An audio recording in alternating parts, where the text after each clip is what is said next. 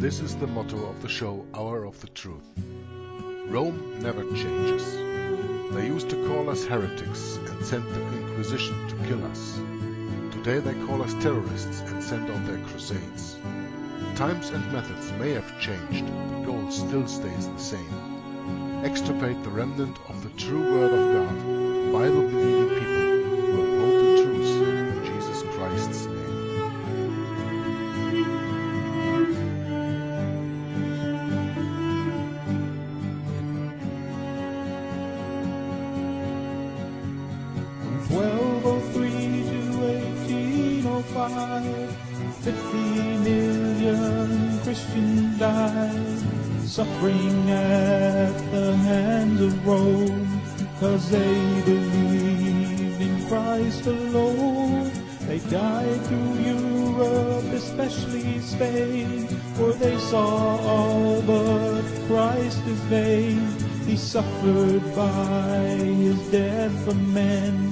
save them from their awful sin.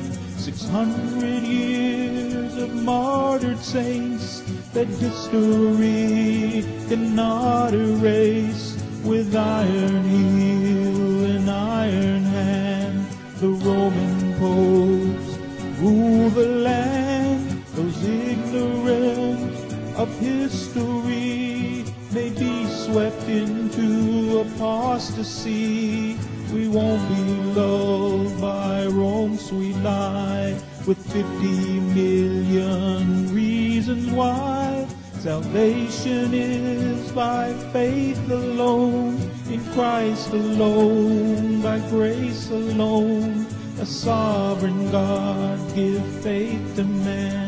Salvation's in the Maker's hand. This gospel offends Rome today.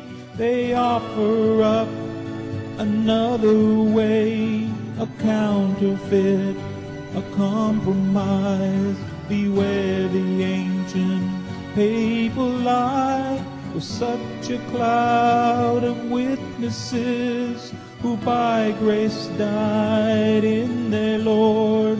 Recall their memory to say, by the same faith we live today. Moin Moin, herzlich willkommen zu einem neuen Video von Jörg, Joggler66, Stunde der Wahrheit. Heute am 6. Juni 2018, ja tatsächlich fünf Monate nach der letzten Lesung, habe ich nochmal Zeit gefunden, mich einzufinden, um den nächsten Teil zu lesen in dem wunderbaren ersten Band Geschichte der Inquisition im Mittelalter von Henry Charles Lear. Wir fangen jetzt das dritte Kapitel an mit dem Namen Die Katharer und ich will auch gar nicht groß eine Einleitung machen, sondern ich will da gleich reingehen und uns wieder bekannt machen mit der Geschichte der Inquisition im Mittelalter, wie Henry Charles Lear sie Ende des 19. Jahrhunderts aufgeschrieben hat in diesem Buch.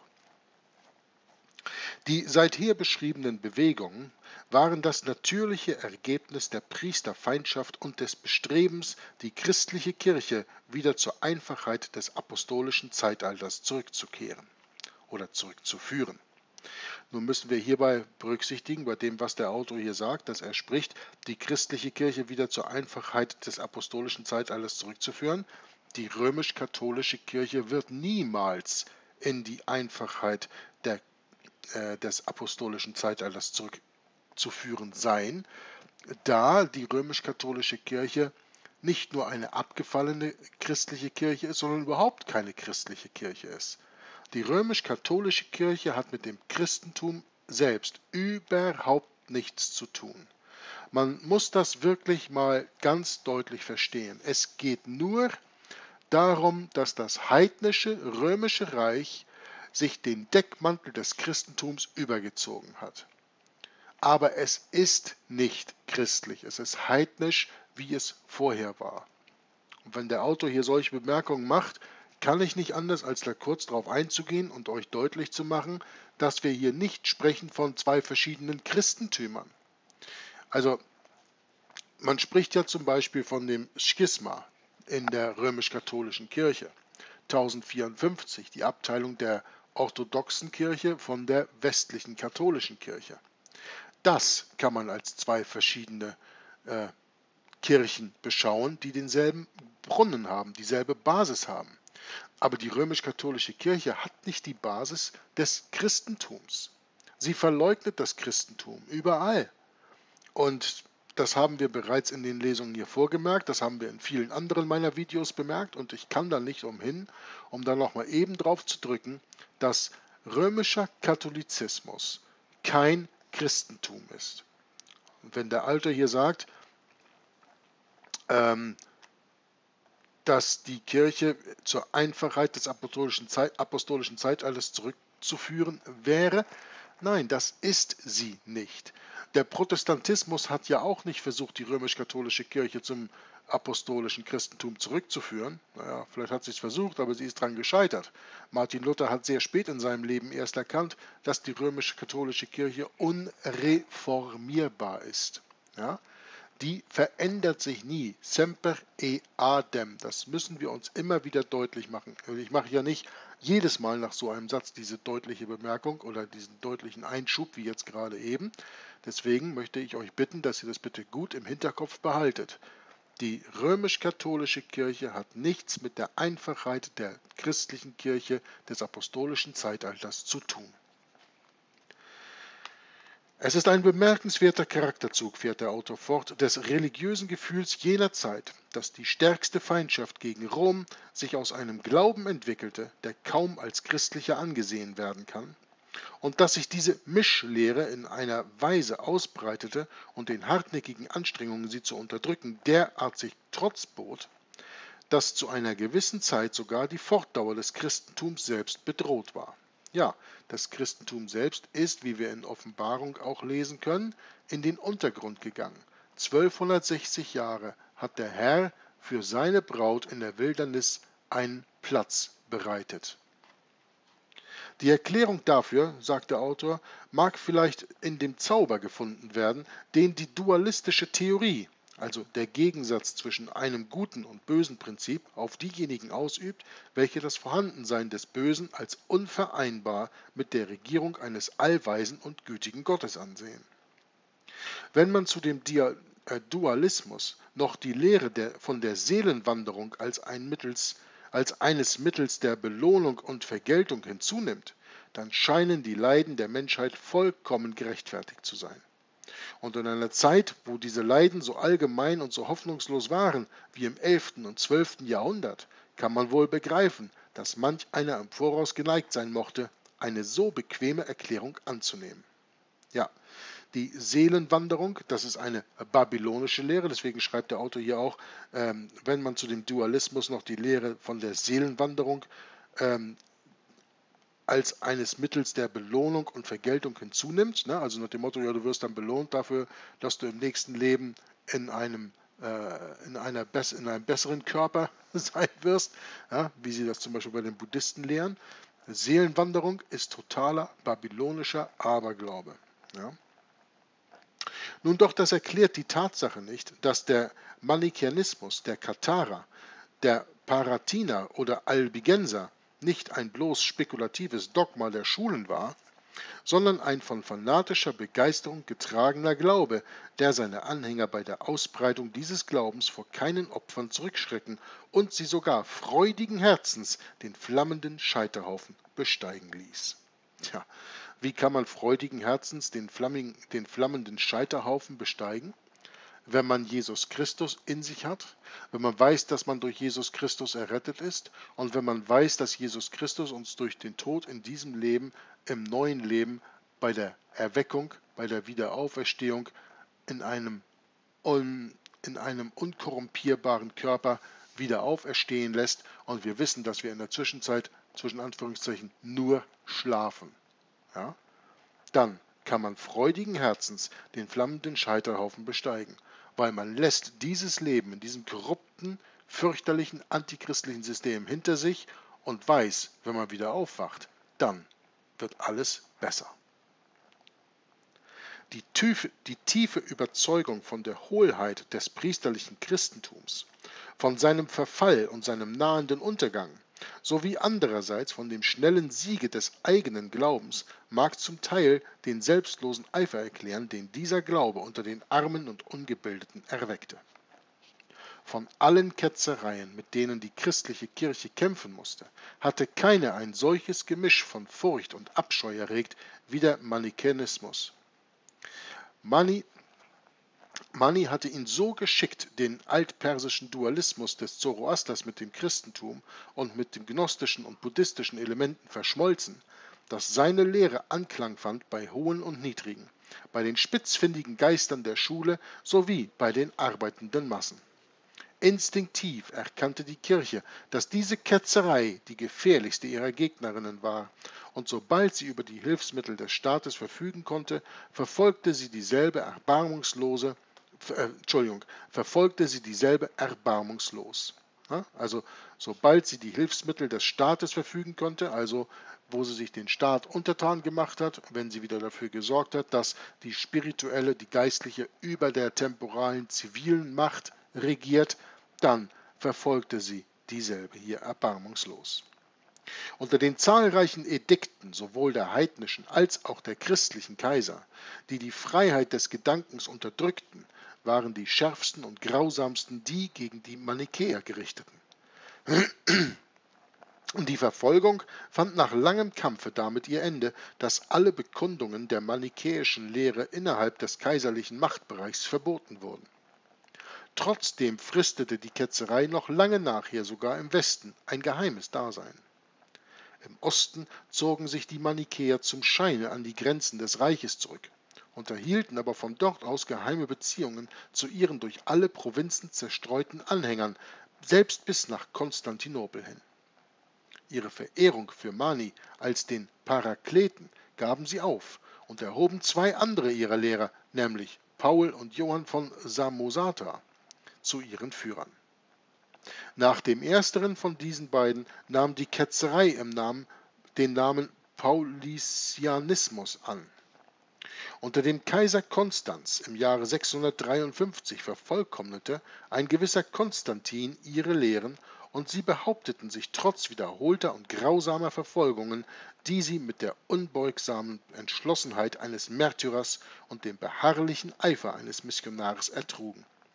Eigenschaften, die, wie wir sehen werden, auch ihre europäischen Nachkömmlinge auszeichneten bisweilen über die Grenze zu den Sarazenen und dann wieder zurückgetrieben, behaupteten die Paulizianer eine Zeit lang ein unabhängiges Dasein in den Bergen Armeniens und führten einen Beutekrieg mit, den byzantinischen, mit dem Byzantinischen Reiche. Leo der Isaurier, Michael Kuropalates, Leo der Armenier und die Kaiserin Regentin Theodora suchten sie vergebens im 8. und 9. Jahrhundert auszurotten, bis zuletzt in der zweiten Hälfte des 10. Jahrhunderts Johann Zimitsches es mit der Duldung versuchte, also eine andere Taktik, und eine große Zahl von ihnen nach Thrakien verpflanzte, wo sie sich sehr vermehrten und für die Gewerbe wie für den Krieg in gleicher Weise befähigt erwiesen.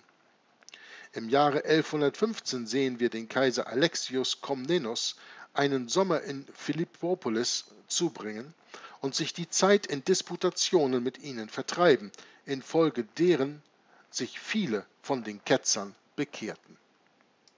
Hier tauchen wir dann kurz in eine Fußnote des Autoren ein, in der er sagt, die Bogomilen, Gottesfreunde, eine andere manichäische Sekte, deren Name ihren slawischen oder bulgarischen Ursprung verrät, werden als Zwischenglied zwischen den Paulizianern und den Katharern betrachtet aber nicht ganz mit Recht, obgleich sie einen einigen Einfluss ausgeübt haben mögen, da sie die Urheber eines gemilderten Dualismus bei einem Teile der letzteren waren.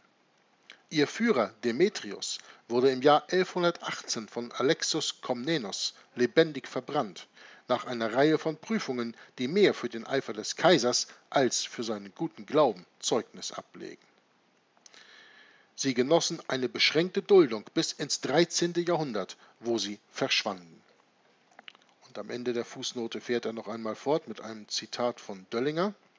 Um die Mitte des 11. Jahrhunderts beschreibt Psellos eine andere manichäische Sekte, die den Namen Eukiten führte und die an einen Vater glaubte, der in den überre überirdischen Regionen herrsche und dem jüngeren seiner beiden Söhne die Himmel und dem älteren die Erde anvertraut hatte. Der letztere wurde unter dem älteren die Erde, Entschuldigung, der letztere wurde unter dem Namen Satanael verehrt. verehrt. Tja, Satanael und Satan, das kommt ja schon ziemlich dicht bei. Ne? Also, man sieht, wie hier in diesen verschiedenen Glaubensreligionen, die allesamt ein Ding hatten, gemeinsam hatten, nämlich dass sie nicht den Glauben der römisch-katholischen Kirche hatten, auch verfolgt wurden und wie hier die Entstehung des Satans und des Vaters und des Sohnes mit zwei Söhnen hier sogar mal ganz anders erklärt wird als in der Bibel. Ich kann dazu immer nur sagen, haltet euch an die Bibel und dann kommt man solche Falschlehren auch von solchen Falschlehren auch gar nicht in Gefahr, sie zu schlucken. Fast unmittelbar fährt der Autor fort, nachdem die Manichäer unter Zimitsches nach Europa übergesiedelt waren, treffen wir Spuren von ihnen im Westen an, welche beweisen, dass ihre propagandistische Tätigkeit ungeschwächt fortdauerte. In allen wesentlichen Punkten stimmte die Lehre der Paulicianer mit der der Albigenser überein. Der einfache altpersische Dualismus oder Mazdeismus, welcher das Universum als die gemischten Schöpfungen des Hormazd und Ariman betrachtet, von denen ein jeder die Arbeiten des anderen aufzuheben sucht und die in allen Einzelheiten des Lebens und der Natur einen endlosen Krieg miteinander führen, erklärt das Dasein des Bösen in einer Weise, die den Menschen auffordert, in dem ewigen Kampfe durch gute Gedanken, gute Worte und gute Taten Hormazd Beistand zu leisten. Verleitet von gnostischer Spekulation änderte dies Mani, indem er den Geist mit dem Guten und die Materie mit dem bösen Prinzip identifizierte. Vielleicht eine verfeinerte und philosophische Auffassung, die aber unmittelbar zu pessimistischen Konsequenzen und zu asketischen Übertreibungen hinführte, da die Seele des Menschen ihre Pflicht nur erfüllen konnte durch Abtötung des Fleisches. Das ist ja auch etwas, was wir später bei den Jesuiten sehen. Ne? Wenn sie sich geißeln, wie ich ja ausführlich darüber berichtet habe in der Buchlesung von Theodor Griesinger äh, in dem ersten Band. Das könnt ihr euch ja mal anschauen. Da sprechen wir viel über die Geißelungen, die die Jesuiten bei Prozessionen überall gemacht haben. Das Fleisch abzutöten, dass die Seele seine Pflicht tun kann. So finden wir in dem paulizianischen Glauben zwei gleiche Prinzipien. Gott und Satan, von denen der erstere das unsichtbare, geistige und ewige Weltall schuf, der letztere das materielle und zeitliche, das er beherrscht. Satan ist der Jehova des Alten Testaments. Die Propheten und Patriarchen sind Räuber. Und folglich muss die ganze heilige Schrift, die, dem Evangelium vorhergeht, verworfen werden. Nur das Neue Testament ist heilige Schrift, aber Christus war kein Mensch, sondern ein Phantom. Der Sohn Gottes, der von der Jungfrau Maria geboren zu sein schien und vom Himmel kam, um der Anbetung Satans ein Ende zu machen. Die Seelenwanderung vermittelt die zukünftige Belohnung oder Bestrafung für die bei Lebzeiten geschehenen Taten. Die Sakramente werden verworfen und die Priester und Kirchenältesten sind nur Lehrer ohne Macht über die Gläubigen. Das sind die Grundzüge des Paulizianismus, wie sie uns überkommen sind. Ihre Übereinstimmung mit dem Glauben der Katharer ist zu deutlich für uns, als dass wir die Theorie Schmidts annehmen könnten, welcher dem Letzteren einen Ursprung unter den Träumern der bulgarischen Klöster zuschreibt. Ein weiterer unwiderleglicher Beweis für die Abteilung des Katharismus aus dem Manichäismus wird geliefert durch das heilige Gewerbe oder Gewand, welches von allen Vollkommenen unter den Katharern getragen wurde. Diese Sitte ist zu sonderbar, als dass sie einen selbstständigen Ursprung haben könnte und ist offenbar zurückzuführen auf das Kosti und Sadara der Mazdeer, das heilige Gewebe und Hemd, das alle Gläubigen tragen mussten und dessen Gebrauch bei den Zens und den Brahmanen zeigt, dass ihr Ursprung zurückgeht auf die prähistorische Zeit, welche vor der Trennung dieser Zweige der arianischen Völkerfamilie liegt. Interessant, dass wir hier von den Brahmanen auf einmal sprechen, die ja ganz woanders, nämlich in Indien, ihr, ihre Religion eigentlich ausüben. Das ist wieder mal ein Beweis dafür, dass diese heidnischen Religionen allesamt ihren Ursprung haben in Babylon, wie wir bei Alexander Hislop ja auch gesehen haben. Unter den Katharern war der Träger des Gewerbes und Gewandes bei den Inquisitoren bekannt als Hereticus Indutus oder Vestitus, der in, all, der in alle Mysterien der Ketzerei eingeweiht sei. So war der Katharismus eine im Wesentlichen priesterfeindliche Glaubensform. Er verwarf den ganzen kirchlichen Mechanismus, also auch die ganze kirchliche Hierarchie. Das muss man sich mal vorstellen. Das ist eine Religion, die verwirft die ganze Hierarchie der Kirche. Das geht ja nicht. Ja? Dann ist der Papst ja nicht, mehr, nicht, nicht, mehr der, nicht mehr der ultramontane Führer der römisch-katholischen Kirche. Dann ist ja nicht mehr der Kardinal über den Bischof, der Bischof über den Priester, der Priester über dem gemeinen Volk. Ja? Der Katharismus verwarf den ganzen kirchlichen Mechanismus. Die römische Kirche war für ihn die Synagoge Satans. Das ist für mich auch. in welcher das Seelenheil unmöglich erlangt werden konnte. Infolgedessen wurden die Sakramente, die Opfer des Altars, die Fürbitte und Vermittlung der heiligen Jungfrau und der Heiligen, Fegefeuer, Reliquien, Bilder, Kreuze, Weihwasser, Ablässe und die anderen Erfindungen alle verworfen, durch welche der Priester den Gläubigen das Seelenheil verschaffte, ebenso wohl wie die Zehnten und die Opfergaben, welche das Geschäft des Seelenheils gerade so einträglich machten. Indessen erbte die Kirche der Katharer als die Kirche Christi die Macht zu binden und zu lösen, die Christus seinen Jungen übertragen hatte. Das Consolamentum oder die Taufe des Heiligen Geistes löschte jegliche Sünde aus, aber kein Gebet war dem Sünder von Nutzen, wenn er nicht aufhörte, Unrecht zu tun. Merkwürdig ist übrigens, dass die Katharer, obwohl sie die Heilige Schrift in die Volkssprache übersetzten, die lateinische Sprache in ihren Gebeten beibehielten, so dass diese den meisten ihrer Anhänger unverständlich waren. Auch hier tauchen wir noch mal eben in eine Fußnote, eine halbseit lange, eine halbseitige Fußnote selbst ein, in der der Autor sagt, in einer handschriftlich erhaltenen Streitschrift gegen die Katharer, die aus dem Ende des 13. Jahrhunderts datiert, stellt der Schriftsteller auf Moneta sich stützend fest, dass ihre Einwände gegen das Alte Testament vierfacher Art waren. Wir hatten ja gerade eben gelesen, was die Einwände waren. Hier sind sie jetzt selbst vierfacher Art. Erstens. Der offenkundige Widerspruch zwischen dem Alten und Neuen Testament. Zweitens. Die Veränderlichkeit Gottes selbst, wie sie sich in der Schrift offenbart. Drittens, die grausamen Eigenschaften Gottes in der Heiligen Schrift. Viertens, die Gott zugeschriebene Unwahrhaftigkeit. Von den Argumenten, welche die Ketzer zur Unterstützung ihrer Behauptung vorbrachten, wird ein Beispiel genügen. Sie führen Genesis Kapitel 3, Vers 22 an, in dem steht, siehe, Adam ist geworden als unser einer. Diese Worte die Gott zu Adam nach dem Sündenfall sprach, müssen, so argumentieren die Katharer, wahr oder unwahr sein.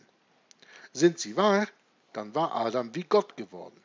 Nun war aber Adam ein Sünder, also ist auch Gott ein Sünder und deshalb schlecht.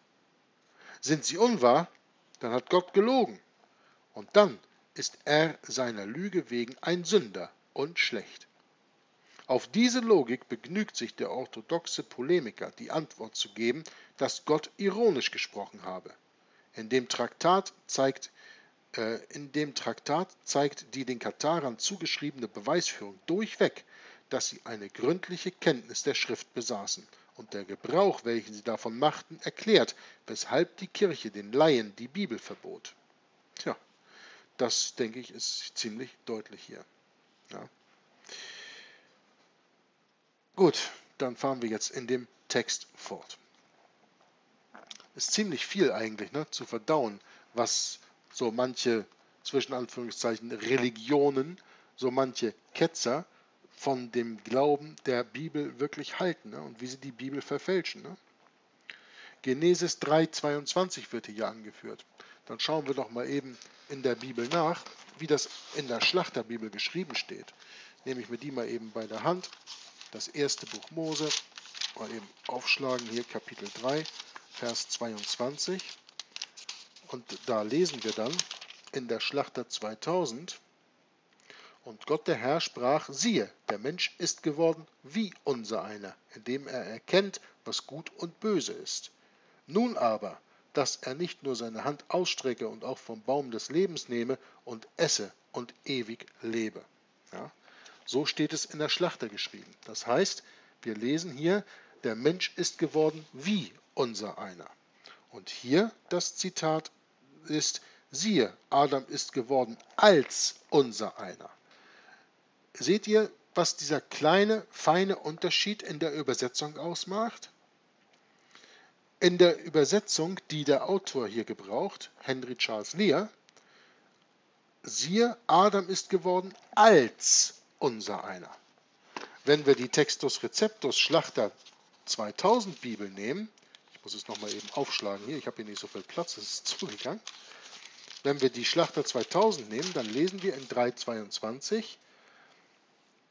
siehe, der Mensch ist geworden wie unser einer. Wie und als ist nicht dasselbe. Ja? Das lernt man, glaube ich, in Deutsch schon am Anfang in den grammatikalischen Unterrichtsstunden, dass wie und als nicht dasselbe ist. Wenn wir dann auf die König James zurückgreifen, also auf die englischsprachige Bibel, da lesen wir in Kapitel 3, Vers 22, And the Lord God said, Behold, man is become as one of us, to know good and evil. Ja? Also, ich finde schon mal hier auch wieder einen Punkt wichtig, um darauf hinzudeuten, dass wir immer sehen müssen, oder immer versuchen müssen, uns mit der richtigen Bibel zu befassen. Ja? Es sind immer die kleinen Worte, die kleinen Dinge, die Unverständnis bringen. In diesem Fall auch wieder. Ja? Als einer von uns oder wie einer von uns. Ja? Siehe, Adam ist geworden als unser einer. Oder wie unser einer. Ein kleiner, aber feiner Unterschied. Nun, wir fahren fort auf der nächsten Seite. Auch hatten sie konsekrierte Priester für den sehr einfachen Kirchendienst. Irgendeine äh, ordnungsmäßige Form der Organisation war in der Tat notwendig für die Verwaltung ihrer schnell wachsenden Gemeinden und für das Missionswerk, welches so eifrig betrieben wurde.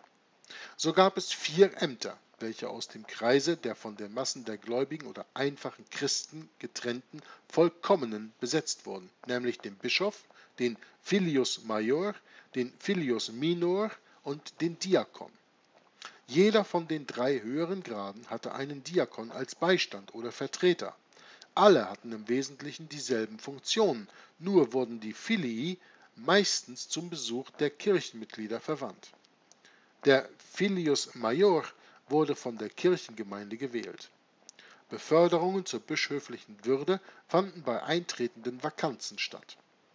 Die Ordination geschah durch Auflegung der Hände oder durch das Konsolament Konsolamentum, das gleichbedeutend war mit der Taufe und allen zuteil wurde, die zur Kirche zugelassen waren. Der Glaube, dass in sündigen Händen die Sakramente entheiligt würden, gab Anlass zu großer Besorgnis. Um sich vor Schaden zu schützen, wurde das Konsolamentum ein zweites und ein drittes Mal sogar wiederholt. Man glaubte allgemein, obgleich nicht überall, dass die niedrigen Grade die höheren nicht konsekrieren könnten. Deshalb gab es gewöhnlich in den Städten zwei Bischöfe, so dass im Todesfall die Konsekration des Nachfolgers nicht aus den Händen eines Filius Major nachgesucht zu werden brauchte. Auch hier gehen wir in eine Fußnote, aber da beschreibt der Autor nur die Brunnen, woher er diese Information hat. Der Ritus der Katharer war streng in seiner Einfachheit. Die katholische Eucharistie wurde ersetzt durch die Segnung des Brotes, die täglich bei Tisch vorgenommen wurde. Wer nach Beruf oder Stellung der Senior war, nahm das Brot und den Wein und alle standen auf und sprachen das Vaterunser. Das ist schon mal ein großer Unterschied zur römisch-katholischen Kirche, die ja in der Zeit des Mittelalters und auch heute noch nur ein Teil der Kommunion gibt, nur das Brot. Den Wein behält sie vor für die Priester. Ja? Also das ist wieder ein Grund, weshalb die Katharer natürlich Ketzer sind in den Augen der römisch-katholischen Kirche, weil sie hier das Sakrament in beiden Teilen geben, wie Martin Luther ja auch beschrieben hat in seinem Buch über, äh, gegen, das, äh, gegen das Papsttum zu Rom äh, vom Teufel gestiftet, wie ihr euch in meiner Buchlesung erinnert. Also, wer nach Beruf oder Stellung der Senior war, nahm das Brot und den Wein, und alle standen auf und sprachen das Vaterunser. Dann sagte der Senior, die Gnade unseres Herrn Jesu Christi sei mit uns, brach das Brot und verteilte es an alle Anwesenden. Dieses gesegnete Brot war ein Gegenstand besonderer Verehrung für die Credentes oder Gläubigen, die noch nicht wie die Vollkommenen ganz in die Kirche aufgenommen waren. Sie pflegten bisweilen ein Stück dieses Brotes zu nehmen und es jahrelang zu behalten, um gelegentlich einen Bissen zu essen. Dem Essen oder Trinken ging jedes Mal ein Gebet voraus. Wenn ein zwischen Anführungszeichen vollkommener Diener des Herrn am Tische war, wurde der erste Trunk und jedes neue Gericht von den Gästen mit Benediktie begleitet, worauf er antwortet, Diaus vos benesigia. Allmonatlich fand eine Beichtfeierlichkeit statt, die jedoch eine allgemeine war und an der alle versammelten Gläubigen teilnahmen. Die größte Zeremonie war das Consolamentum, die Taufe des Heiligen Geistes, die die Seele mit dem Heiligen Geiste verband und welche wie die christliche Taufe Absolution von jeder Sünde bewirkte. Ja, das ist nicht die christliche Taufe, das ist die katholische Taufe, die Absolution von jeder Sünde bewirkt. Im wahren Christentum ist die Taufe nur ein auswärtiges Zeichen meiner inneren Bekehrung und hat nichts mit Sünden wegzuwaschen zu tun. In dem Sinne, natürlich, das Eintauchen in das Wasser und das Wiederaustauchen soll symbolisch meine Sünden wegwaschen. Das soll ein Zeichen dafür sein, dass ich Jesus Christus akzeptiert habe und dass ich ihm meine Sünden anvertraut habe und dass ich darauf vertraue, dass er mit seinem Blut meine Sünden weggewaschen hat. Das ist, wie es biblisch ist. Wie hier der Autor beschreibt, dass die christliche Taufe Absolution von jeder Sünde bewirkt, ist die katholische Taufe. Ja? Sie bestand in der Auflegung der Hände, erforderte zwei Ministranten und konnte von jedem der Vollkommenen, der nicht im Zustande der Todsünde war, sogar von einer Frau, gespendet werden. Sie war jedoch unwirksam, wenn einer von ihnen mit Sünde behaftet war. Das war das Verfahren der Heretikation, wie die Inquisitoren die Zulassung zur Kirche der Katharer nannten. Außer bei denjenigen, welche Diener des Herrn werden wollten, wurde sie, wahrscheinlich aus Furcht vor Verfolgung, gewöhnlich bis zum Totenbette verschoben. Doch konnte der Kredenz durch ein Übereinkommen, welches ja, welches La Covenanza hieß, sich verpflichten, sich im letzten Augenblick aufnehmen zu lassen. War man eine solche Verpflichtung eingegangen, dann konnte, man die, dann konnte die Zulassung vorgenommen werden, selbst wenn der Betreffende die Fähigkeit der Sprache verloren hatte und keine Antworten mehr geben konnte. Die Form des Ritus der Geistestaufe war außerordentlich einfach, obwohl ihr gewöhnlich eine mit einem langen Fasten verbundene Vorbereitung vorausging. Der Ministrant redete den Postulanten also an. Bruder, wünschest du dich unserem Glauben hinzugeben?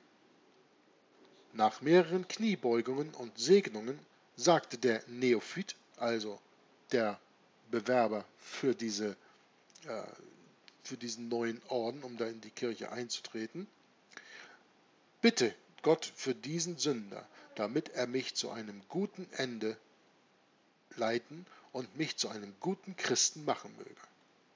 Worauf der Ministrant fortfuhr, Gott möge gebeten sein, dich zu einem guten Christen zu machen und dich zu einem guten Ende zu führen. Ergibst du dich Gott und dem Evangelium? Und wenn der Postulant oder Neophyt mit Ja geantwortet hatte, fährt er fort, versprichst du, dass du in Zukunft weder Fleisch noch Eier noch Käse noch irgendein Lebensmittel essen willst, das nicht von Wassertieren oder Pflanzen herrührt? Dass du nicht lügen oder schwören und keiner Fleischeslust frönen willst, dass du nicht allein gehen willst, wenn du einen Kameraden haben kannst, dass du nicht aus Furcht vor Wasser oder Feuer oder irgendeiner anderen Todesart den Glauben verlassen willst? Wenn diese Versprechungen ordnungsgemäß gemacht waren, knieten die Umstehenden nieder, während der Diener des Herrn dem Postulanten das Johannesevangelium auf den Kopf legte und die Stelle hersagte. Zitat am Anfang war das Wort und so weiter. Ende Zitat. Und ihn mit dem heiligen Gewebe bekleidete. Dann ging der Friedenskuss herum, wobei man die Männer umarmte und bei den Frauen mit einer Berührung des Ellbogens sich begnügte. Die Zeremonie wurde abgehalten als ein Symbol für das Aufgeben des bösen Geistes und für die Rückkehr der Seele zu Gott, mit dem Entschluss, hinfort ein reines und sündloses Leben zu führen. Bei den Verheirateten musste natürlich die Zustimmung des Gatten vorhergehen. Wenn diese Heretikation auf dem Totenbette geschah, folgte ihr gewöhnlich die Endura oder die Privation. Der Ministrant fragte den Neophyten, ob er ein Bekenner oder ein Märtyrer werden wolle.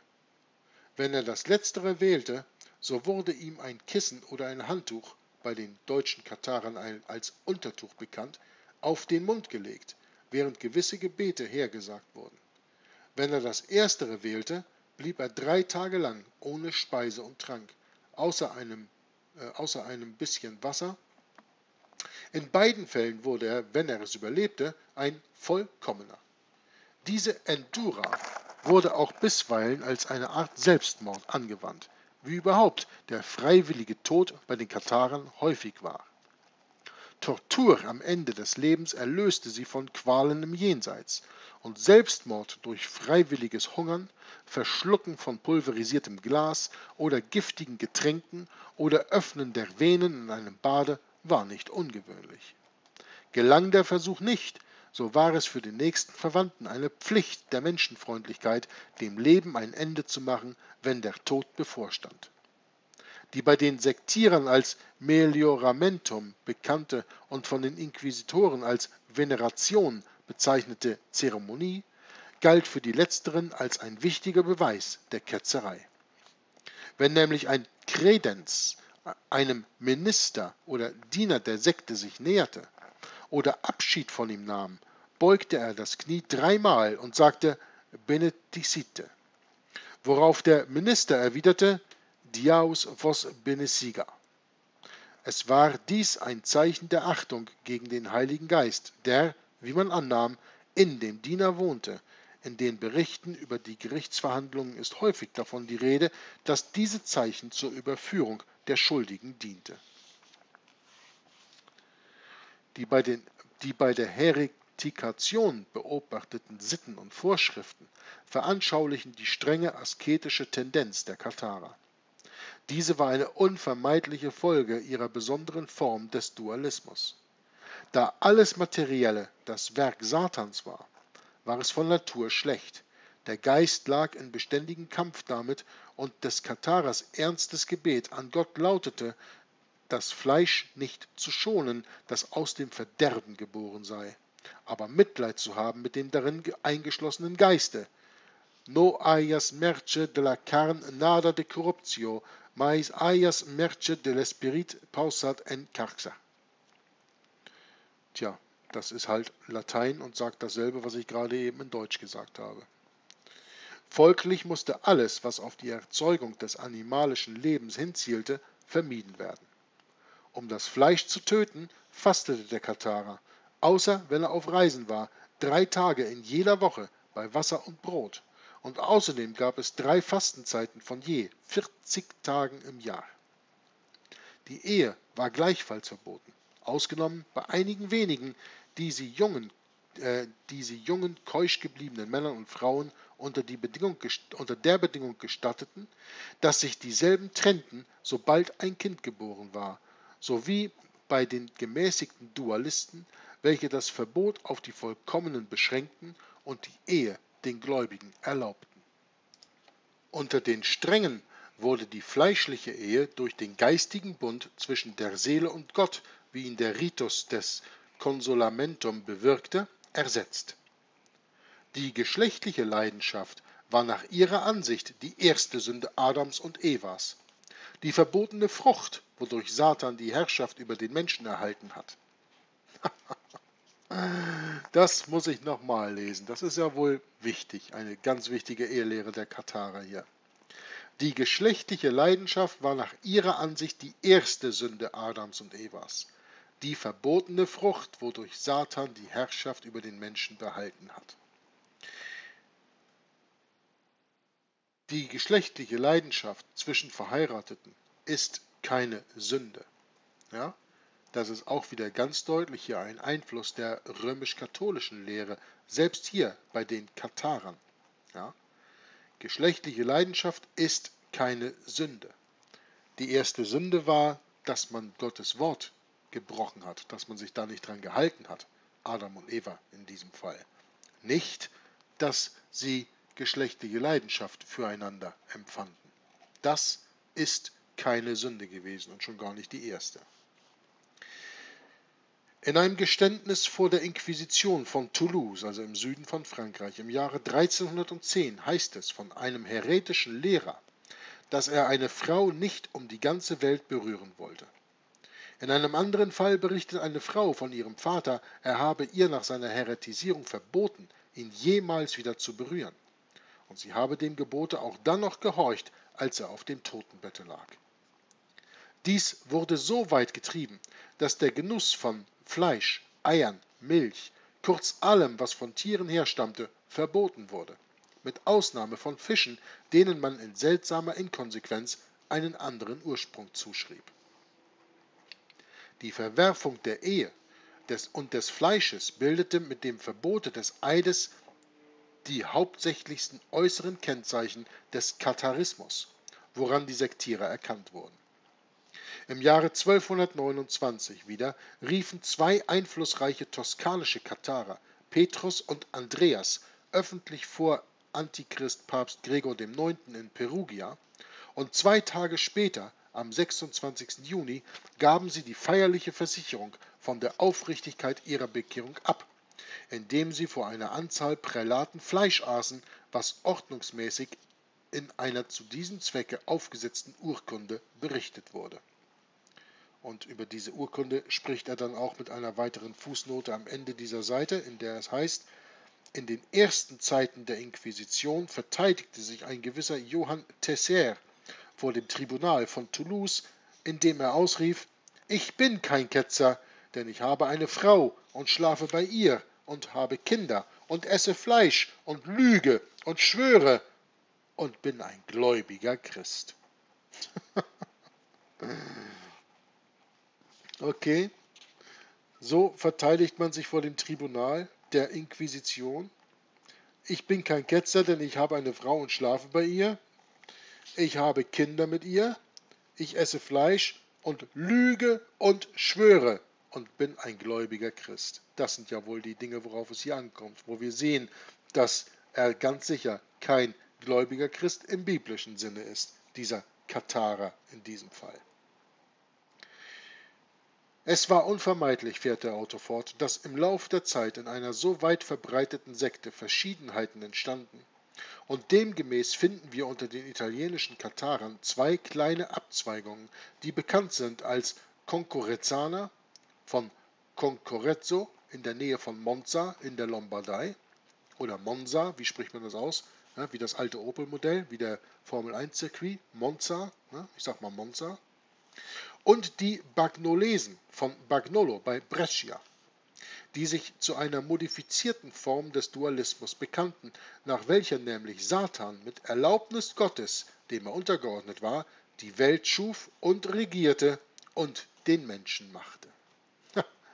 Wieder eine Lehre, wo Satan zu Jesus gemacht wird, weil Jesus hat alles gemacht, das da ist, wie wir in äh, Johannes lesen können.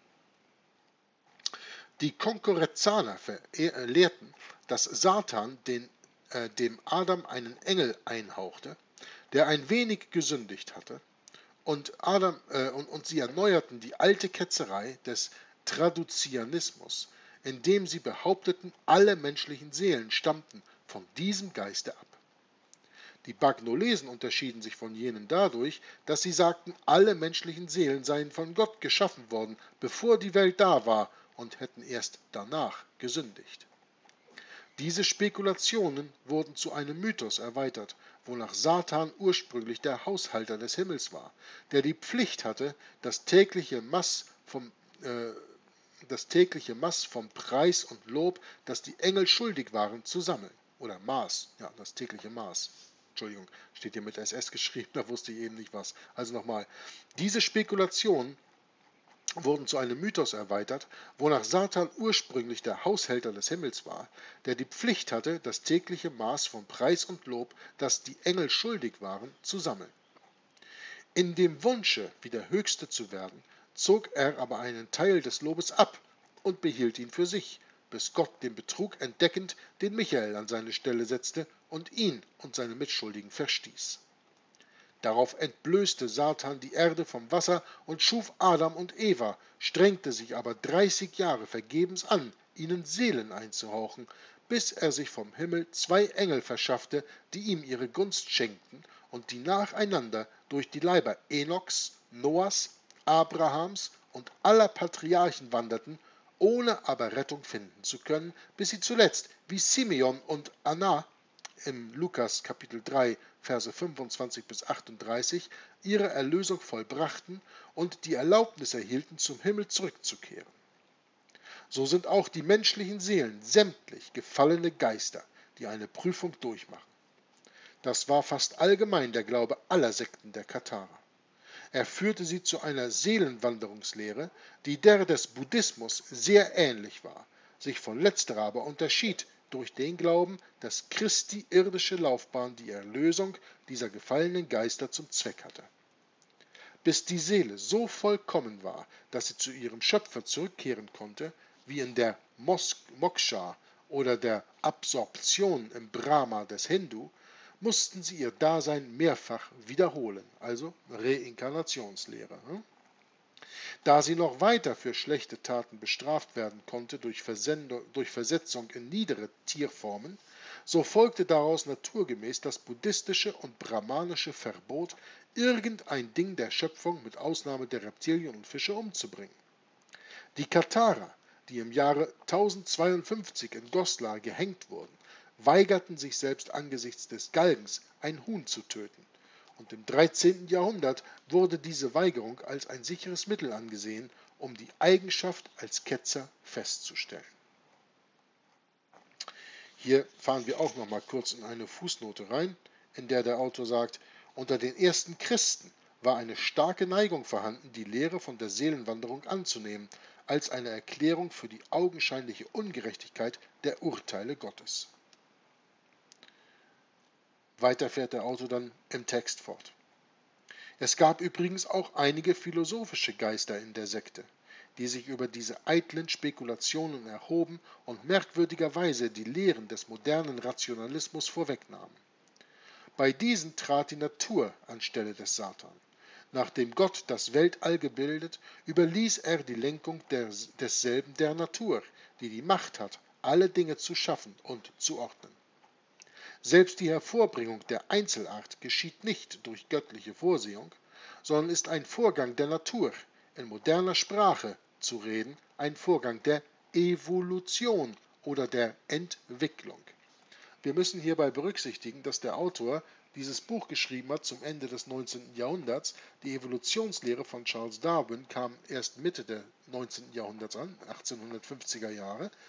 Natürlich war sie auch vorher schon hier und da bei den Griechen und sowas vertreten, aber das ist halt etwas, was schon immer bei den Heiden geschlummert hat. Die Lehre der Evolution.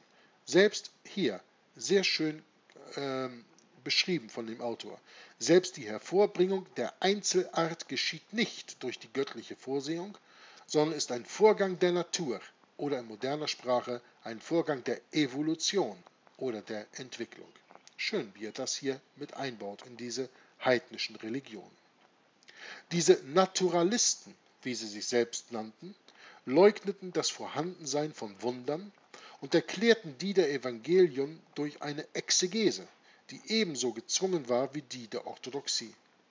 Sie glaubten zum Beispiel, es sei zwecklos, den lieben Gott um gutes Wetter zu bitten, denn die Natur allein regle die Elemente.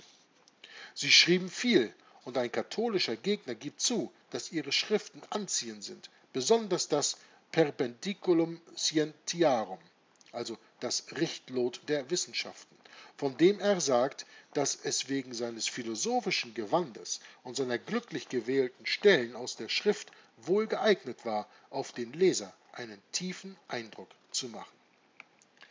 Und da sehen wir hier in einer Fußnote, wie der Autor uns Folgendes erzählt. Bevor wir die Lehre der Katharer vom Dualismus verspotten, ja, also ich habe sie nicht verspottet, ich habe nur gesagt, wo sie herkommt, müssen wir uns vergegenwärtigen, wie stark in dieser Richtung die Neigung sensitiver und glühender Seelen ist, die ein scharfes Gefühl haben für die Unvollkommenheit der menschlichen Natur und ihren Gegensatz zu den Möglichkeiten eines Ideals. So veranlasste ums Jahr 1560 Flacius Elicrius, der eifrige Reformator, der den Mythen der Katharer bedenklich nahe kam, eine lebhafte Kontroverse durch seine Behauptung, dass die Erbsünde nicht ein Akzidenz, also ein Unfall sei, sondern zum Wesen des Menschen gehöre, dass das ursprüngliche Bild Gottes durch den Sündenfall vollständig vernichtet und in ein Bild Satans verwandelt sei. Gleichsam eine Umwandlung des absolut Guten in das absolut Böse. Eine Lehre, die notwendigerweise zum Manichäismus hinführen musste worauf ihn schon seine Freunde Musäus und Iudex warnend aufmerksam machten. Das orthodoxe Asketentum nähert sich ebenfalls sehr stark dem Manichäismus durch seine Verleugnung des Fleisches, das ihm als Gegner und Feind der Seele gilt.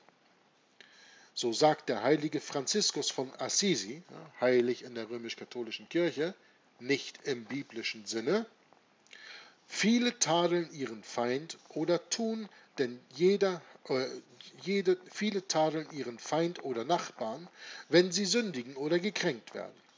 Das sollten sie nicht tun, denn jeder hat seinen Feind bei sich selbst, nämlich den Körper, durch welchen er sündigt. Gesegnet darum der Diener, der diesen Feind gefangen hält und sich gegen ihn schützt. Denn wenn er das tut, kann ihm kein anderer sichtbarer Feind etwas anhaben. Ende Zitat von Franz von Assisi. Ja. Und an einer anderen Stelle nennt er seinen Körper den grausamsten Feind und schlimmsten Gegner, den er gern dem Teufel überlassen würde. Nach dem Dominikaner Taula, also Dominikaner, nicht vergessen, ist ja der Orden, die sich mit der Inquisition beschäftigen, nach dem Dominikaner Taula, dem Führer der deutschen Mystiker im 14. Jahrhundert, ist der Mensch an und für sich nur eine unreine Masse, ein vom Bösen, von der verderbten Materie abstammendes Wesen, das nur Abscheu einflößen kann. Diese Meinung, diese Meinung teilten im vollen Sinne seine Anhänger, obgleich sie von Liebe und Barmherzigkeit geradezu überströmten. Jean-Jacques Ollier der Begründer des großen theologischen Seminars Saint-Sulpice, Saint steht in seinem Catechisme du Chrétien pour la vie intérieure, der, glaube ich, noch immer in Saint-Sulpice im Gebrauch ist, ebenso weit wie Mani oder Buddha in seiner Verabscheuung des Fleisches als der Quelle der Sünde. Und dann folgt hier ein In Französisch, ich probiere zu lesen und sehe, ob ich das übersetzen kann. Je m'entends plus si vous dites qu'il faut haïr sa chair, que l'on doit avoir horreur de soi-même et que l'homme, dans son état actuel, doit être maudit. En vérité, il n'y a aucune sorte de maux et de malheur qui ne doivent tomber sur la sur lui à cause de sa chair. Was am Anfang so viel heißt, ich äh, halte mich nicht zurück zu sagen, ähm, dass ich den Körper hasse und den Horror, den er mir antut und so weiter und so weiter. Also ich will jetzt nicht alles übersetzen, aber in diesen Worten ungefähr spricht hier der Jean-Jacques Ollier. Bei solchen Ansichten ist es nur ein Spiel mit Worten ob man den Schöpfer eines solchen Scheusals wie der Mensch der Krone, die Krone des irdischen Weltalls es ist, Gott oder Satan nennen soll. Sicherlich kann er nicht das gute Prinzip sein. So endet hier die Fußnote. All diese ähm, verschiedenen Religionen, diese verschiedenen Abzweigungen noch der Katharer, über die wir jetzt hier gerade gesprochen haben, haben immer eins gemeinsam. Sie legen die Bibel für sich selbst aus. Sie lassen nicht die Bibel sich selbst auslegen. Sie sagen, Gott hat etwas geschaffen und weil dieses Geschaffene dann in die Sünde gefallen ist, ist Gott schlecht oder ist der Mensch schlecht. Ja, natürlich, der Mensch ist in der Hinsicht schlecht, dass er eben in einem gefallenen Status ist. Aber wenn wir so schlecht wären, dass in uns absolut nichts Gutes wäre, dann wäre ja kein einziger von uns der Rettung würdig. Dann würde Gott uns ja nicht mehr lieb haben. Da er aber weiß, dass er für das Schlechte, was wir inzwischen uns angeeignet haben, durch eben Gott nicht mehr zu gehorchen, in dieser Welt eine Lösung vorgesehen hat und uns liebt und uns erretten will, ist das die wahre biblische Lehre. Und keine einzige dieser hier beschriebenen Sekten, über die wir gelesen haben, geht auf diese wahre biblische Lehre der Erlösung ein. Natürlich ist der Mensch nicht gut und natürlich hat der Mensch die Hölle verdient. Aber wenn ich über die Hölle rede, dann muss ich auch gleichzeitig über die äh, Erlösung reden. Ich kann nicht nur sagen, der Mensch ist verdammt ewig im Feuer zu braten. Ich muss dazu auch zusagen, er hat aber die Möglichkeit, dieses abzuwenden, durch sich zu bekehren, durch von seinen Sünden sich zu bekehren. Und nicht nur zu sagen, ich bereue meine Sünden an den Vater im Himmel, sondern auch um danach dann zu leben und es durch sein Leben, durch seine Art und Weise zu leben, zu zeigen.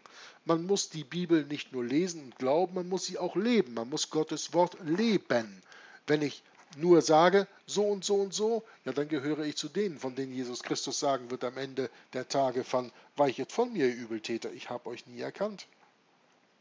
Weil man die Taten nicht bei den Worten fügt. Ja?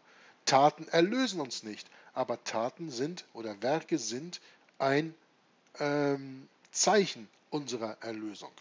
So, und wenn wir die Werke nicht haben, dann sind wir auch nicht erlöst. Naja, irgendwo logisch. Die zwei Dinge gehören in eins. Nur die römisch-katholische Kirche lehrt, dass ich die Werke brauche, um Erlösung zu haben. Nein, aber ich brauche die Werke, um meine Erlösung nach außen hin zu zeigen und um kundzutun, dass ich eben erlöst wurde. Fahren wir noch eben in dem Buch fort. Die Fußnote haben wir jetzt hier gerade abgeschlossen. Das war ja auch mal ein ganz interessanter Einblick und der Autor fährt fort und sagt, in solch einem Glauben, auch das, was wir jetzt gerade in den Fußnoten gelesen haben, neben dem Glauben, den wir gerade eben gelesen hatten, dem Perpendicuculum Scientiarum, also das Bichtlot der Wissenschaften, in solch einem Glauben lag nichts, was sinnlich oder fleischlich gesinnte Menschen anziehen könnte. Er war in der Tat weit mehr abstoßend als anziehend und nichts als die durch die allgemeine Verderbnis und Bedrückung seitens der Kirche erweckte Unzufriedenheit kann seine schnelle Ausbreitung und den großen Einfluss erklären, den er auf seine Anhänger ausübte. Obgleich die Askese, die er einschärfte, über die Kraft des Durchschnittsmenschen hinausging, so waren seine ethischen Lehren doch bewundernswert. Im Allgemeinen wurden sie auch befolgt, und die Orthodoxie gab mit Bedauern und Beschämung den Gegensatz zu, der sich in dieser Hinsicht zwischen den Ketzern und den Gläubigen, der in dieser Hinsicht zwischen den Ketzern und den Gläubigen bestand. Orthodoxie müssen wir hier wieder verstehen, das ist die römisch-katholische Lehre, ja? Das Verbot der Ehe freilich, wie es in der Formel zum Ausdruck kam, Beziehungen zu einer Frau seien so sündhaft wie Blutschande mit Mutter und Schwester, war eine Übertreibung und wurde ihnen gegenüber als naturgemäß, äh, ganz naturgemäß in die Beschuldigung verkehrt, dass solcher Inzest bei ihnen erlaubt sei und tatsächlich ausgeübt werde. Tja, das ist wieder typisch.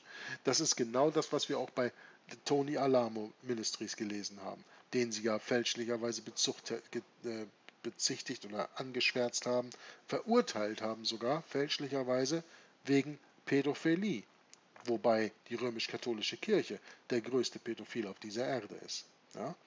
Ganz, ganz typisch. Weiter, sagt der Autor, wurden viele Geschichten oder wilde Geschichten von nächtlichen Orgien erzählt, wobei die Lichter ausgelöscht wurden und ein allgemeiner Geschlechtsverkehr stattfand. Und die Hartnäckigkeit der Ketzer wurde durch die Erzählung erklärt, dass, wenn aus diesen schmutzigen Exzessen ein Kind geboren war, es von Hand zu Hand durch ein Feuer geworfen wurde, bis es starb.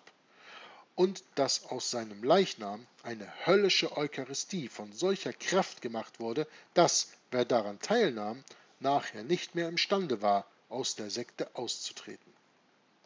Von solchen Geschichten gibt es eine große Zahl.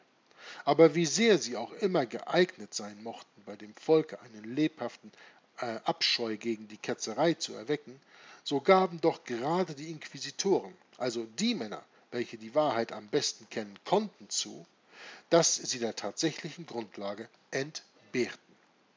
In den vielen Hunderten von Prozessen und Urteilen, die ich gelesen habe, findet sich keine einzige Anspielung auf etwas derartiges, ausgenommen in einigen gerichtlichen Verhandlungen des Fra, also Vater Antonio Secco in den Alpentälern von Piemont im Jahre 1387.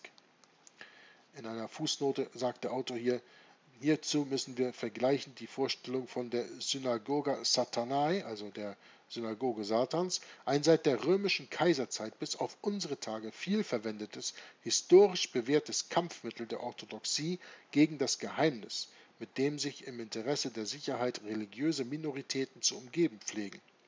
Wie wir lesen können bei Hansen, Zauberwahn, Inquisition und Hexenprozess im Mittelalter, veröffentlicht im Jahr 1900 auf Seite 226 und fortfolgende.